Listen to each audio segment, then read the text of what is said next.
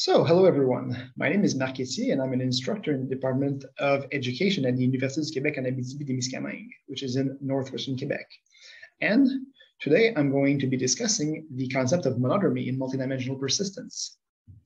So first I'm going to recall briefly how persistence work in the case of um, in the case of continuous filtering functions.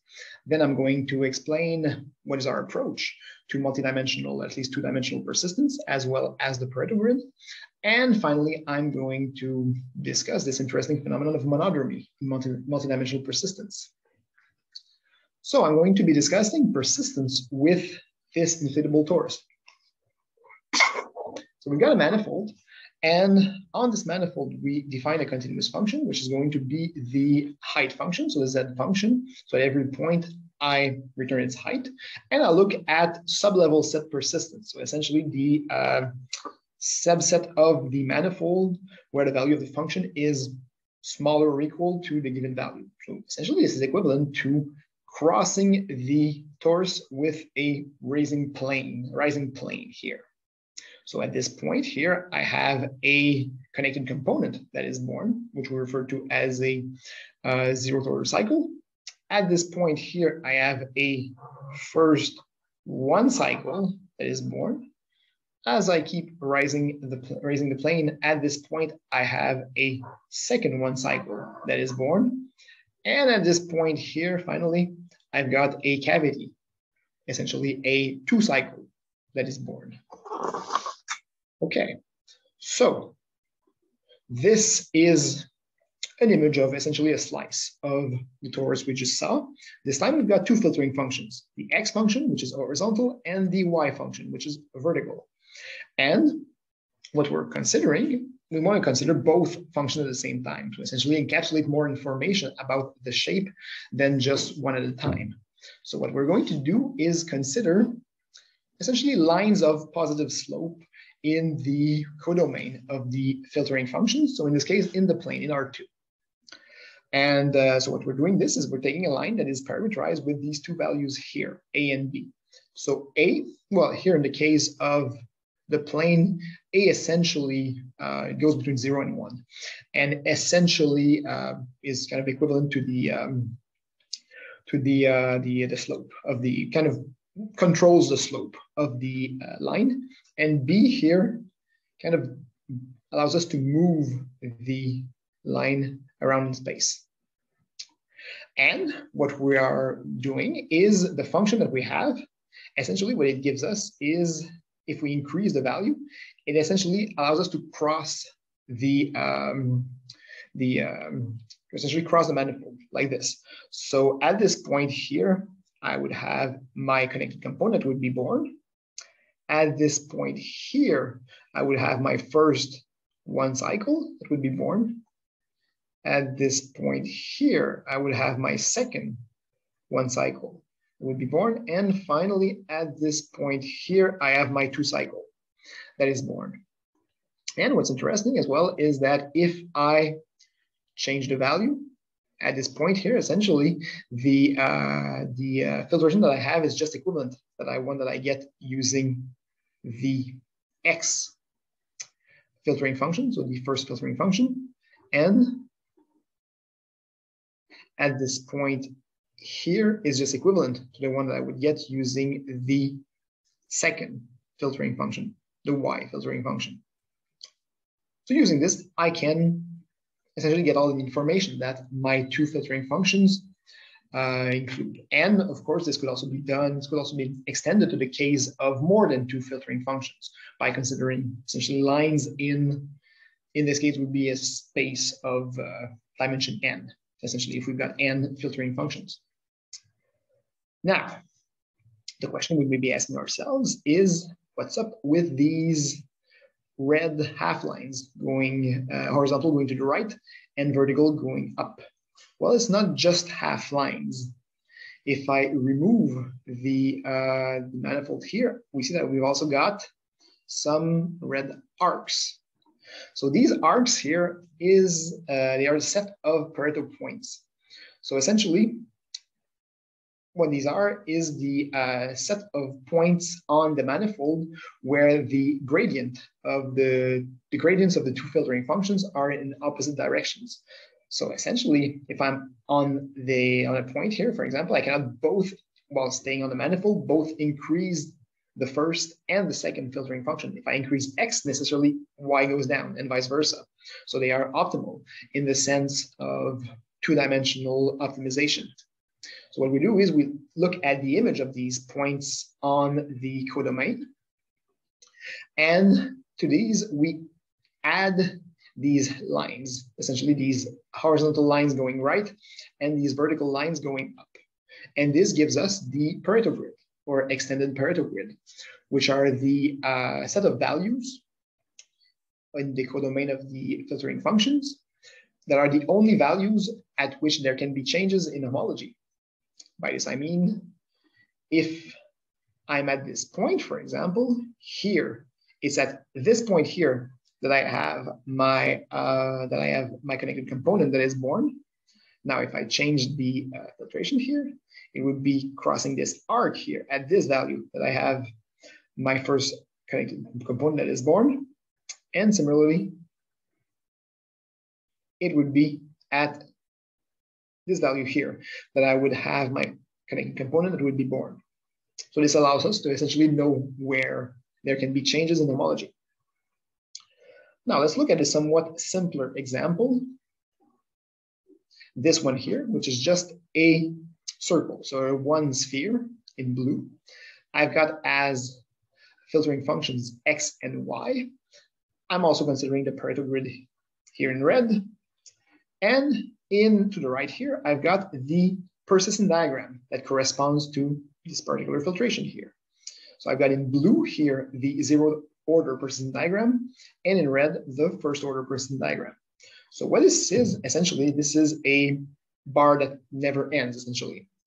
So it's an infinite bar because I've got at this point here, I have my connected component that is born and it just never dies. So this is corresponds to this bar here. And at this point here, I have my first order cycle that is born and which also never dies at this point here. Now, if I change the value of the um, the values of the parameters here, I see that when I cross this point here, what happens is that I actually have a second um, second point in the zeroth order persistent diagram that appears because at this point here, I have a second component that is born, but then dies at this point by merging with the, the one that corresponds to this line here. So I've got here a essentially a bar that is of finite length. And when we're doing um, when we're doing topological data analysis with persistent diagram, essentially this is what what we're doing is that we have let's say several shapes, and for each of them we look at a persistent diagram and we compare them using some sort of metric or pseudometric. In our case, we often use the bottleneck distance or matching distance. And smaller values of this metric kind of tells us that we have similar shapes and larger values tell us that we have um, not so similar shapes. And so we were interested in essentially defining a multidimensional matching distance by looking at the um, essentially the maximum as we move over all of these parameter values of the distance that we would get using this. Now, this does work. And one thing that we noticed is that in many cases, it was often the case that it was when A here, the first parameter value, is equal to one half, that this maximum was attained. A equal one equals one half essentially means that we have a line of slope one in the uh, codomain, which is R2. So that was interesting, which we settled on trying to demonstrate, trying to prove. And um, so the idea, of course, is that in this case, if we look at the um, if we look at the persistent diagrams as the parameter values change, we kind of have a uh, the the points in the persistent diagram kind of move continuously. So we set out on trying to prove why is it that it's at a equals one half that we actually have this maximum that occurs. But we reached an interesting phenomenon, which I'm going to show here. So let's consider this function here. So we've got as filtering function. So the domain is R2, but we could consider a, a, uh, a closed subset of this. The first filtering function is just X, and the second one is this. So this here essentially is we've got four lines here, and we extend the function on the segments joining each of these lines linearly, and as well to the left and to the right of this, we also extend linearly. So what does this look like? It looks like this. So this is the function in question. So if I look at it from the front, so in red here, we've got the x-axis, in blue, the z-axis. So we can see fairly easily the four lines, but it's even more clear. It's even clearer here. We've got those four lines here. And what happens is that essentially each of these, um, when we cross each of these, one of these two lines, we have a uh, some birth, and we cross. When we cross one of these two points, of these two lines here, we have a death in the persistent diagrams. We exclude here in this case the um, the bars that are of infinite length. We just consider these uh, where we have a, um, a finite length. But at this point here, essentially at this parameter value, a equals one half, b equals zero, I see that I have the two birds and the two deaths simultaneously. So I have a superposition of points in the person diagrams. So we refer to this parameter value, ab, as a singular parameter value. But if we set out on essentially moving around this singular parameter value. What happens is that here, essentially, the, um, the two points kind of decouple when we turn around. So can move just around this here. And so we've got essentially four, like this. So we've got essentially four, two points in the uh, persistent diagram and kind of moving around and moving continuously, of course. And so what this gives us is this here. So I've got a singular parameter value here, which is at a equals one quarter and b equals zero. So the parameter value is this one, and it corresponds to this persistent diagram. So in this case, the colors are just, um, it just chose arbitrarily the colors. So we've got one point, which is in blue and one that is in red. And the reason why they are colored is that if we can look at the point P here, as I move it around the uh, singular parameter value. I've got here the blue to the left and to the top of the red. And as I move around, I can reach essentially the same persistent diagram, but now the red point is to the left and to the top of the blue point, and so on. Can they move continuously? But essentially changes change their positions. So this is what we refer to as the phenomenon of monodromy in multidimensional persistence. And it was a uh, kind of a difficulty in trying to establish an identity in the case of um, parametrized persistent diagrams. So, so these are a few uh, articles that I would suggest reading to get more information about this um, about this subject that I discussed. So the first two here are essentially two articles where this approach to multidimensional persistence through uh, lines of positive slope was introduced.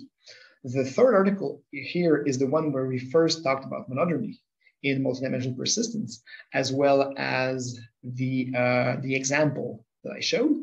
And the fourth one here is the one where the uh, Pareto grid is being introduced, and as well where the article where we uh, introduce a concept of a coherent matching distance, which essentially kind of finds a distance between parameterized families of persistent diagrams, but taking in, into account the uh, movement of the points through space as the parameter value changes. And this is also where we kind of prove an interesting um, result regarding the, um, the importance of lines of slope one, that is lines where the parameter value a is equal to one half. So I thank you for your attention and take care.